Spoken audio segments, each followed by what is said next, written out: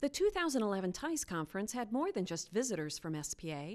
Lower School Tech Coordinator Joyce Tybel led a group of teachers and students in what was called the 21st Century Classroom, which was a collaboration between TIES, the Cunningham Group architecture firm, and four schools from around the Twin Cities.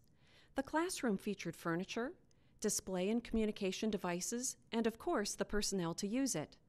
Students started the day with a conversation with Fable Vision animators Hannah O'Neill and Bob Flynn over Skype, then learned about the brain from Dr. Carrie Steffens, and concluded by Skyping with renowned explorer Will Steger, whose presentation they followed using Google Maps.